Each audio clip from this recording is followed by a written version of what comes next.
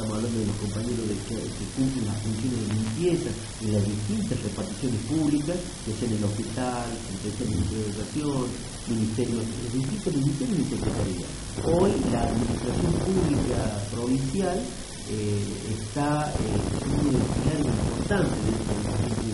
Son los que le dan a aquellos compañeros administrativos que todos los días concurren a su lugar de trabajo, son los que ya entran una hora antes, los que tienen la limpieza de, todas las oficinas, todas las reparticiones, y son los que realmente les brindan la limpieza y el bienestar para que el trabajador público esté en mejores condiciones de trabajo. ¿En qué condiciones está trabajando la gente? ¿Qué les falta? Bueno, estos compañeros lamentablemente hace muchos años que tienen lamentablemente muchas carencias con respecto, por ejemplo, a sus elementos, a su de trabajo, no hay, eh, la mayoría de estos cuentan con los elementos de protección, tiene el guante, tiene el barbijo, tiene el ropa de trabajo, como la camisa, el pantalón, eh,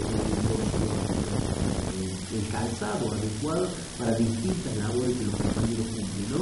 Eh, es así que se viene reclamando hace muchos años por una nueva ley también de, de insalubridad para estos compañeros, porque había ley de, de insalubridad en la provincia, pero no se devolvió que aquellos compañeros que iniciaron antes la administración pública como servicio general antes del 92 tienen este ítem de insalubridad y cobran, pero es un monto muy irrisorio que va en el orden de los 20 pesos, 22 pesos, ¿cierto? Así que bueno, eh, y ahí estamos exigiendo una nueva ley de insalubridad que cubra a los actuales compañeros que son los nuevos de ¿Y de qué número? O sea, hablamos de ley, ¿y de cuánto se tendría que ser un monto razonable de ese ítem? Mira, eh, por ejemplo, hoy tendría que ser un, un, monto eh, que acerque a la, a, la, y a los tiempos, ¿no?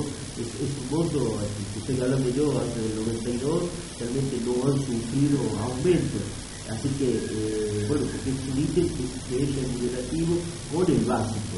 Lamentablemente, no saben que hoy el trabajador público tiene muy poco básico, y al tener muy poco básico, es muy poco lo, lo, el el, el por que cobra. Nosotros creemos que actualmente, por lo menos, este ítem por insalubridad tiene que estar en arriba de los, de los 500 pesos.